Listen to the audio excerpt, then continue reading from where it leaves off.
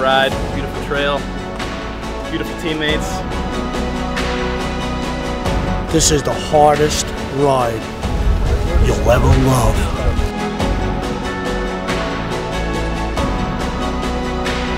I'm a two-time survivor, so I'm doing this to pay Roswell back for everything they did for me. So this is amazing. I came in really not knowing what to expect. I've never done a ride like this, but uh, it's been all that I could have hoped for and more. It's it's so good to be part of such a, an amazing charity event.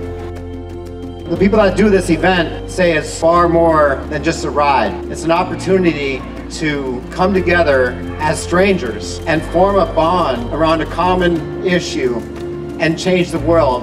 It's far more than a ride.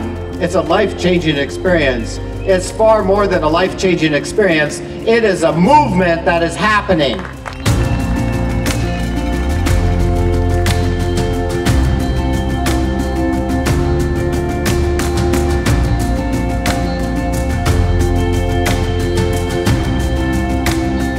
Realizing that I just got on my bike this year in May. I keep telling myself as long as I've got lungs in my body, I will push myself.